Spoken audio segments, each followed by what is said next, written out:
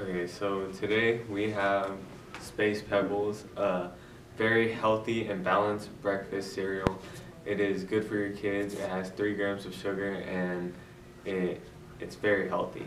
You can find it at your local Walmart, Target, Albertsons, and Food for Less.